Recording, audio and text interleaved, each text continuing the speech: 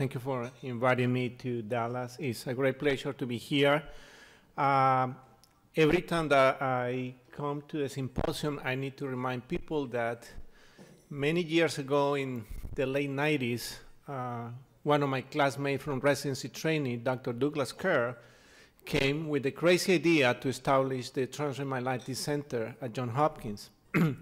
uh, his idea was nobody around the world knows about transverse myelitis, so it's time to start working on that. And in 1999, with Doug and Dave Irani, and later with Chitra and uh, Adam Kaplan and Ben Greenberg, we committed ourselves to this uh, um, entity that was the Transverse Myelitis Center. And along with us, there was an amazing person who I admire very much and is here, is Sandy, who basically, with the support of the Transverse Myelitis Association, helped us to uh, establish the Transverse Myelitis Center. And in the past 10 years has been a very, very rewarding uh, uh, uh effort because uh, we have been able to uh, have a better understanding and we have progressed a lot in providing care and understanding much better the needs of patients with transverse myelitis. So it's a great pleasure to be here with the Transverse Myelitis Association and all of you.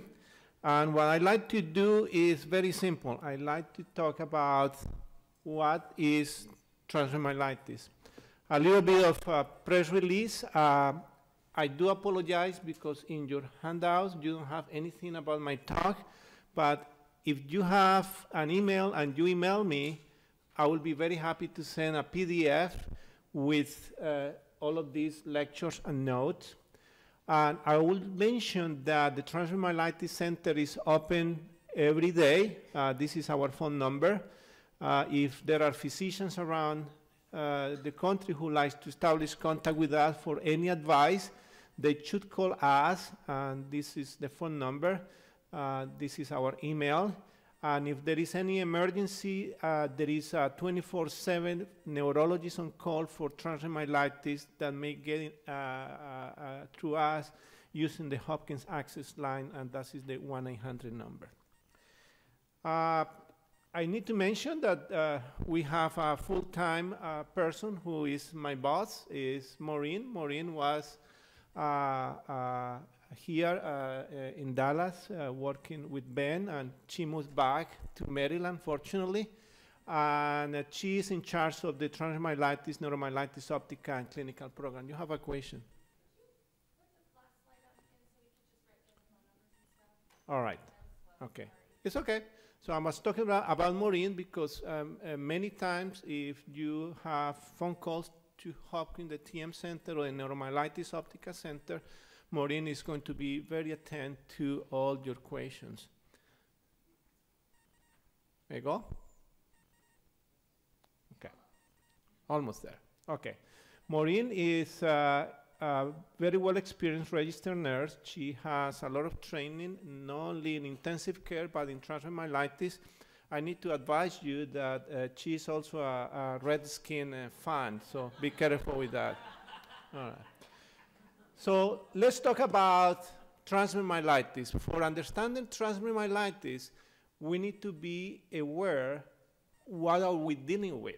And we are dealing with the spinal cord. The spinal cord is part of the central nervous system, and the spinal cord is a very well organized structure that maintains communication between our brain and the rest of our body. So what I plan to do in the next 25 minutes is to concentrate a little bit on the anatomy, and I like to explain how transmyelitis may express as a clinical problem, how we evaluate a patient with transmyelitis, how um, may affect the spinal cord, and how we treat transmyelitis.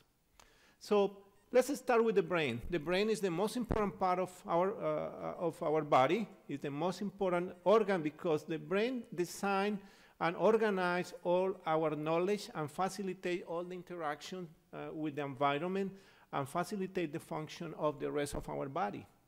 And the brain works with many other areas and many other receptors, the vision, the hearing, uh, the muscles, the taste, And the brain need to be in contact with all of the structures of the body using cells. And the most important part of uh, the most important part uh, of, uh, of the brain is a cell that is called a neuron. And the neuron has a central station that we call the neuronal cell body, in which all the information, chemical information, is stored. But the neuron has a very long process that is, in some cases, few millimeters of length, but in some cases is very long, up to one meter or more, particularly in those neurons or those neurons that communicate the brain with the spinal cord. And this fiber that is called axon is frequently surrounded by a plastic material that we call myelin. And that myelin facilitates the process of electrical transmission between the cell body and the end of that process that is going to communicate with the different organs of, of, of, the, of the body. The myelin is produced by a very specialized cell that is called oligodendrocyte. And the major purpose of that is to facilitate uh, electrochemical communication between this cell, that is the neuron, and the target. In this case, an example, the muscle, facilitate the function of that muscle. So the cell body is constantly here, the, the neuronal cell body is constantly producing chemicals that are being transported through the axon and end up in the terminal uh, uh, connection and stimulate muscles or the parts of, uh, of our uh, uh, central nervous system. Now, we already learned that the immune system has different uh, agents that may interfere with the function of that neuron. We already know that there are T cells, T cells that may target the function of the neuron, T cells that may target the function of the myelin, or may disrupt the function of the entire uh, network provided by, by the neurons. So the new system basically at some point, uh, instead of helping the, the, the, function of the central nervous system, may produce damage. And this is one of the unfortunate situations that may happen in uh, some uh, disorders or neurological disorders, such as demyelinating disorders or neuroinflammatory disorders. The immune system turns against this uh, basic unit of the central nervous system that is the neuron. Now, what is the spinal cord? So the spinal cord is the main avenue, the main, main bridge in the communication between the brain and the rest of our body. And the spinal cord is in this very strong case that is the spinal column and is very well protected by this bony structure. And this spinal cord is a very, very well organized structure because facilitate the communication from the brain down to different organs and from the external areas of our body back to the brain. So in that way, the spinal cord is organized in different sectors. So we have the spinal cord, the gray matter in the spinal cord is inside of the spinal cord, and this gray matter contains a lot of the neuronal cell population that facilitate motor function or neuronal cell population that facilitate sensation. In other words, this is a very well organized network that is going to facilitate movement and is going to facilitate the perception of different uh, stimuli into the uh, uh, central nervous system. The spinal cord is also organized in different pathways that are facilitated by uh, the white matter. Again, in the spinal cord, the gray matter is inside of the spinal cord, the white matter is outside. And in this white matter, there are different avenues, there are different uh, pathways. There are pathways that are going down, meaning that these are descending pathways, or pathways that are going up, meaning that those are ascending pathways. Why is that organized in that way? Well, it's organized in that way to facilitate function. And all of these ascending tracks are carrying information from the sensory system. The ascending tracks are carrying information from the motor system. And this is very important for our motility. For example, the brain in different areas of the brain, like the cerebral cortex, generate a lot of information for different areas of the body, arms, legs, and that need to be transmitted down to those muscles. So the brain organize the information in the cerebral cortex, and the axons from those uh, cortical areas are going down into the spinal cord, and they are going to generate electrical impulses that end up in stimulation of muscles. At the same time, these pathways that are going down into the spinal cord are very susceptible to damage. If there is anything affecting these pathways, meaning any infection in the spinal cord or in the brainstem of the brain, or any process like demyelination, that is going to be translated clinically in presence of weakness, paralysis, presence of any uh, uh, muscle cramps or spasticity that are frequently the major symptoms that are uh, uh, uh, expressed in this function of the motor system. On the other side, we have the sensory function. The sensory function is coming from outside of the central nervous system, meaning that there are several receptors in our body, like when you have perception of pain or perception of vibration, this information is carried uh, by peripheral nerves into the spinal cord and immediately is taken up to the brain where this information is being processed by the cerebral cortex and it will give you the ability to identify potential areas of danger. For example, if there is uh, excessive heat and the uh, thermic receptors here stimulate the spinal cord, our brain immediately is going to communicate with the uh, coordinator of, of that function and immediately is going to be a withdrawal and that means that it's going to be communication with the motor system. So this is a very well organized system and a highly organized uh, network of uh, connections. Again, the sensory function may be disrupted in different areas, may be disrupted in the peripheral nerve, may be disrupted in the spinal cord, and that may have consequence from clinical point of view, like presence of pain, lack of sensation, abnormal sensation, sensation or lack of uh, balance. There is a mis understanding with the term transverse myelitis. There is always the concept that transverse myelitis is just the cross section of the spinal cord. Well, that happened, and when that happened, unfortunately, almost all function of the spinal cord are shut down, meaning motor function, sensory function. Fortunately, the frequency of the complete transverse myelitis is relatively rare as compared with the more frequent uh, partial involvement of the spinal cord. For that reason, we need to understand a little bit of the topography of the lesions that are affecting the spinal cord, because that is going to translate clinically in different symptoms. Sometimes, and you may have experienced this, there are more problems with motor function as compared with sensory function. Sometimes there are more problems with bladder function because the pathways that are organizing and controlling the bladder are probably the pathways that are affected as compared with other pathways of uh, sensory function or motor function. So it's extremely important to understand where the lesion is located in the spinal cord because that means for function or dysfunction. Let me give some examples. Do you remember that we have white matter? Yes? We do, right? The white matter is outside of the spinal cord. This white matter is highly organized. Uh, we know uh, this is the posterior region of the uh, uh spinal cord that we call posterior columns. When there is myelitis or damage of the spinal cord in this region of the spinal cord, that is going to translate clinically in lack of proprioception, meaning that your body is not going to know, your brain is not going to know very well what is the position of your legs.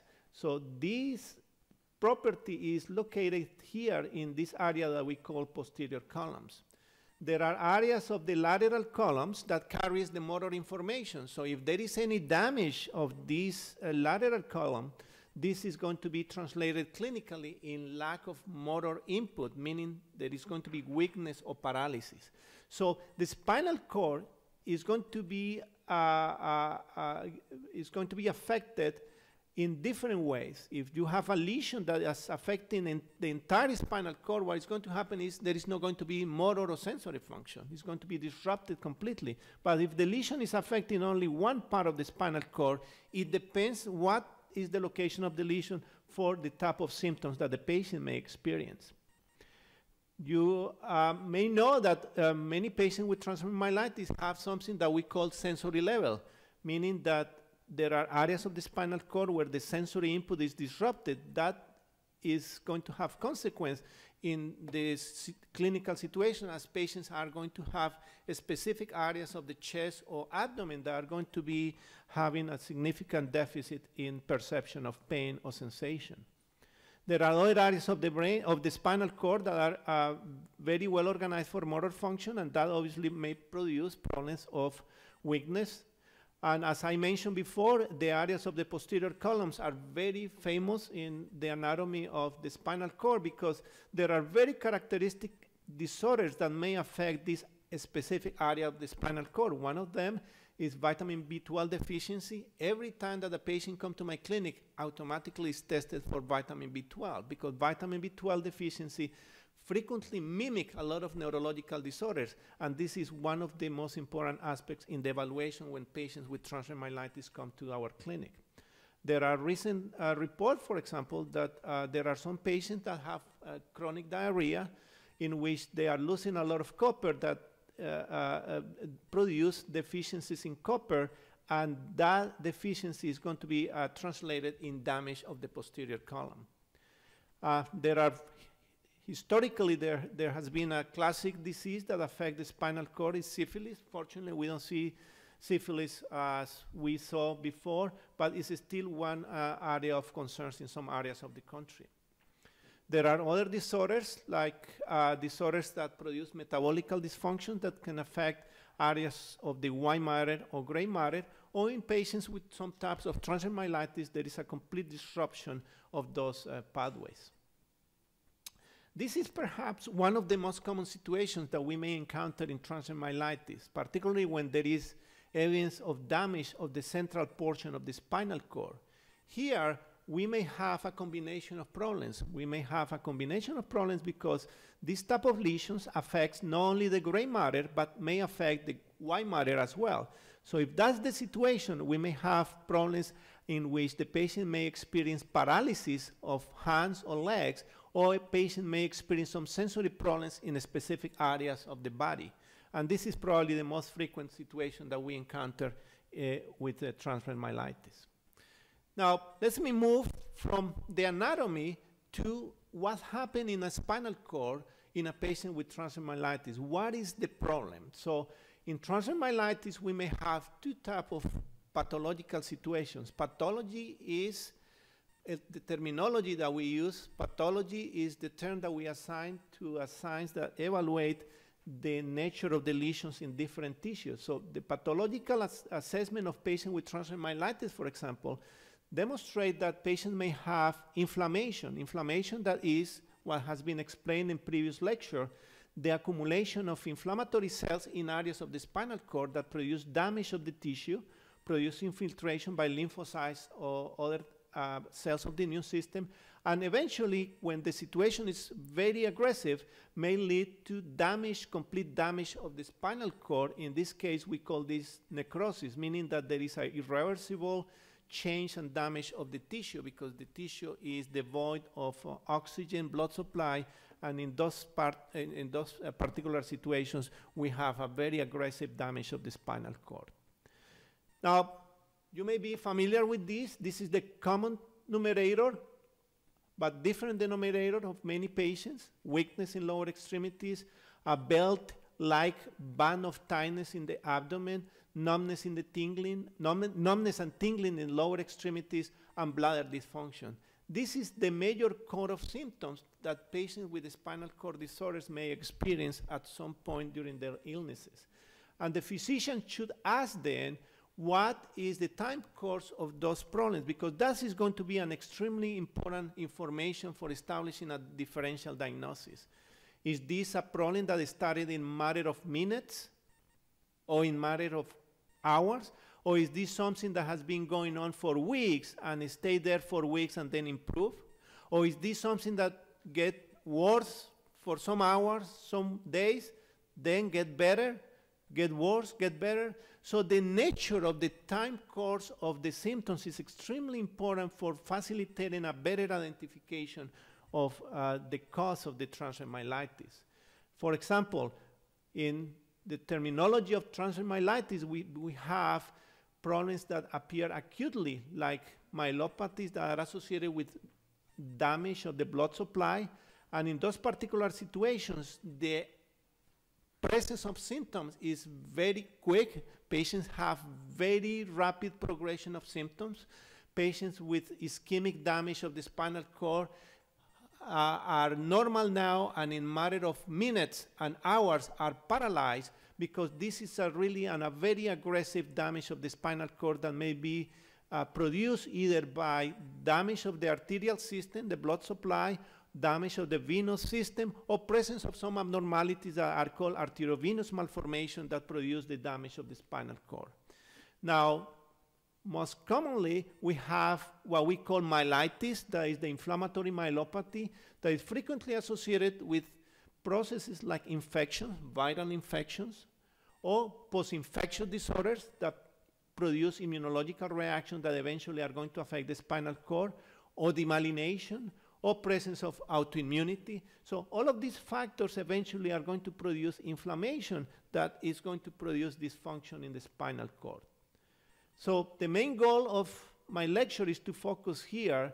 I will spend just a few seconds explaining that ischemic myelopathy is a disorder in which the blood supply of the spinal cord is uh, affected.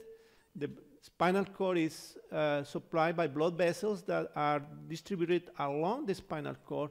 And when there are factors like uh, damage of the arteries, trauma, that obviously is going to produce a significant damage of the spinal cord. And as I mentioned before, these are clinical situations that evolve quickly, and in a matter of hours, patients may be paralyzed.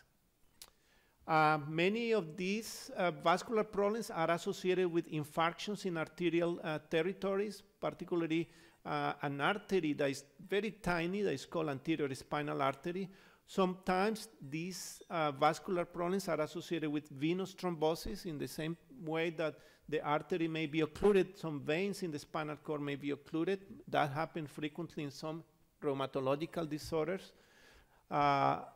There are occasionally arteriovenous malformations that are malformation of the structure of the blood vessels, and that occasionally manifests with damage of uh, the blood uh, supply in the spinal cord. And occasionally, trauma may produce damage of the cartilage that is present in the discal structure of the spine that may migrate to areas of the blood vessels and produce infarctions uh, in the spinal cord. As I mentioned before, the time course of all of these symptoms is extremely important for clarifying what is the nature of the disease and what is the differential diagnosis. Let me give you an example. When a patient has an acute myelopathy or acute myelitis that evolves in matter of hours or days, frequently we, we are dealing with problems of acute transient myelitis or ischemic myelopathies. But occasionally we have patients that get myelopathic symptoms, they get better, they get those symptoms back, and this keep a pattern of relapsing and remitting symptomatology. Those are the situations that happen frequently with patients with multiple sclerosis or neuromyelitis optica. That is a variant of um, inflammatory myelopathy. There are some conditions like neurosarcoidosis, that is a pulmonary disease that occasionally affect the spinal cord, in which there is a progressive inflammatory process in the spinal cord that lead to a, a, a very chronic and steady uh, damage of the spinal cord. So identifying the time course of these problems is extremely important. Now, what to do when there are problems or symptoms of transmyelitis? It is very important and is a patient responsibility to talk and talk and explain to the doctor what has been the time course of the symptoms so the doctor may understand what is going on. And it's a doctor's responsibility to do a very good examination and make sure that there is no uh, any miss of any important clinical sign. And it's responsibility of the doctor to understand and talk and try to clarify the different symptoms that the patient is experiencing. We use different tools. We use x-rays. Yeah, in the past 100 years, we have been using x-rays. But now we are using more and more magnetic resonance imaging that allow us a very good imaging of the spinal cord with a very good resolution and eventually a good clarification of the structural damage of the spinal cord. We may use blood testing for identification of infections or immunological problems. And importantly, we use a lot spinal taps or lumbar puncture that allow us the uh, uh, uh, analysis of cerebrospinal fluid. And that is extremely important to clarify if this disorder that is presenting as weakness or sensory problem is associated with an inflammatory condition or is just part of a vascular ischemic process. There are many pathologies, many disorders that may be associated with transient myelitis. We have autoimmune disorders. We have post-infections encephalomyelitis. We have vascular process. We even have neoplastic process that may affect the spinal cord and may mimic process of transient myelitis. And again, we have frequently problems with uh, demyelination that mimic uh, myelopathies. The spinal cord is very well evaluated by MRI and it's extremely important to do a very good assessment of that uh, spinal cord.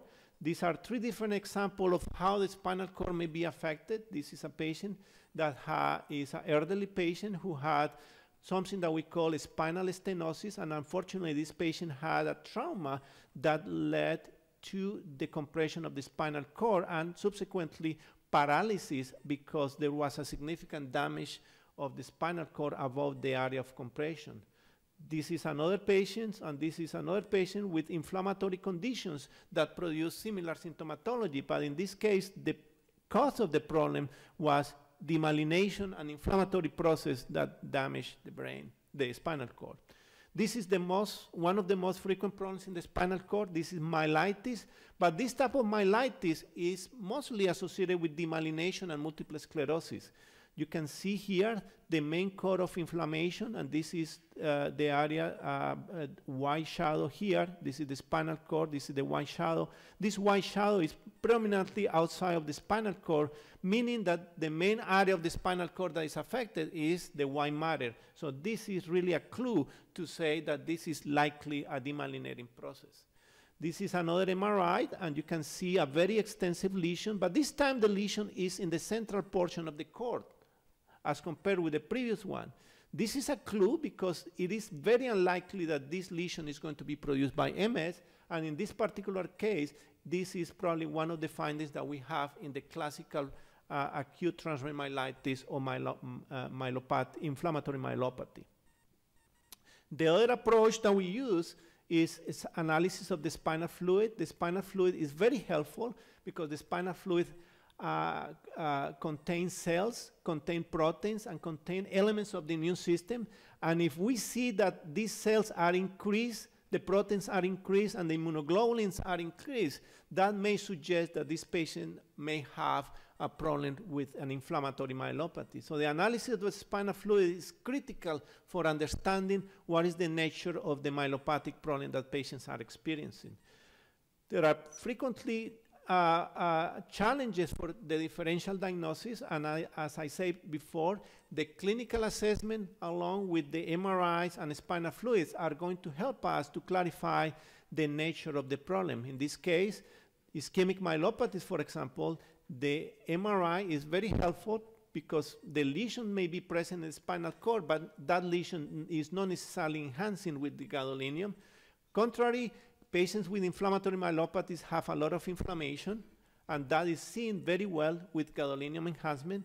Patients with uh, inf uh, inflammatory myelopathies have abnormalities in the cerebrospinal fluid, and that is manifested by presence of white cells, is manifested by presence of increasing proteins, and even increase in immunoglobulin index. So all of these uh, uh, approaches are going to help us to clarify if this patient has an ischemic process going on or this is part of an inflammatory uh, process.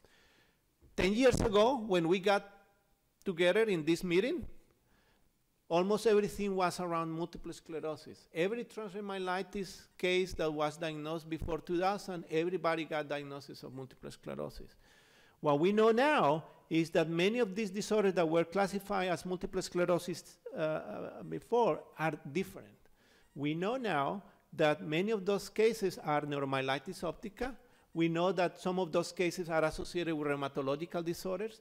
We know that many of those patients are not necessarily demyelinating, but they stick with the diagnosis of transient myelitis that is an entity, nosological entity. Some of those uh, of, of these patients that were classified before as multiple sclerosis are now identified as acute disseminated encephalomyelitis. So we are learning more and more about the natural history of this disease or these disorders that allow us to have a better uh, comprehension of the problem. We know now, for example, that MS frequently involves not only spinal cord but also brain structures, that neuromyelitis optica involves permanently cervical and optic nerves, cervical spinal cord and optic nerves, and we know that spinal uh, cord involvement is almost exclusive for problems of transverse myelitis. So in 10 years, we have learned a lot about the natural history of these disorders. What is going to happen in 10 more years? It's very possible that many of these rheumatological disorders are going to continue uh, uh, uh, being clarified. It's very possible that different variants of multiple sclerosis are going to be reclassified. It's very possible that in transverse myelitis we are going to have a much better understanding of the different entities that are uh, involved in transverse myelitis. How to treat? I have 30 seconds for, for this. so how to treat transverse myelitis? It depends on the cause. If you don't know the cause, it's extremely difficult to know how to treat. If you have vitamin B12 deficiency producing a myelopathy, fantastic. That's the best treatment. A lot of vitamin B12 and the patient is going to be better in matter of weeks. If you have an arteriovenous malformation, there are ways to treat that. There is interventional radiology techniques that are able to collapse, collapse the fistula and eventually the patient can get better. If there is an arterial thrombosis, we are in trouble. We don't have tools yet for treating patients with arterial thrombosis. Number one, because those are patients that evolve in matter of minutes or hours, and when they arrive to the emergency department, it's too late. We don't have too many resources to do so. But there is a very interesting situation. We are learning a lot about strokes, and you know that we are treating patients with a stroke with throm thrombolysis or medications that dissolve the clot. Eventually, in the future, if we are able to bring patients quickly to the emergency department and identify that there is an arterial thrombosis, we may treat those patients with thrombolysis. But it's still quite away. Inflammatory myelopathies are treated predominantly with steroid treatment, you know that. And now we are using more and more plasma exchange to clean up immunoglobulins. We are treating with different immunosuppressant medications, and we are partially effective in controlling the inflammation. So this area is becoming more and more standard of care now for the treatment of myelopathy. Dr. Ben Greenberg is behind. Yeah, I saw him. And the most important part is to say the physician need to understand what is going on first before commit a patient to treatment. It's going to be a mistake to put a patient with an ischemic myelopathy with damage of the spinal cord associated with an arterial thrombosis. It's really a danger to put a patient in cyclophosphamide for immunosuppression. So the physician need to understand very well what is the process that he's dealing with or she's dealing with for giving advice to the patients about treatment. Now, moving from medications, rehabilitation is the most critical part of transverse myelitis treatment. Rehabilitation, rehabilitation, rehabilitation, rehabilitation. If you don't have rehabilitation, if there is no an effort to do rehabilitation, patients are not going to recover. Why? Because steroid treatment is not going to solve that. Steroid treatment is just to control the immune system. Immunosuppression is just to control the immune system, right? Immunosuppression is not going to recover function. The only way to recover function is rehabilitation, rehabilitation, rehabilitation. There is going to be a focus on stem cells. That is our dream. How far away we are from that dream, I don't know. I have an element of skepticism, but we need to be always positive and have that dream there in our mind. So eventually that's coming very soon. What is the best treatment for the transverse myelitis in 2010? A cup of cappuccino for the person who answered that. what is the best treatment? Okay, there is another better. vitamin P. Do you know what vitamin P is? What, what, is, what is the effect of vitamin P? Be positive, be proactive, and that's the best that you can do.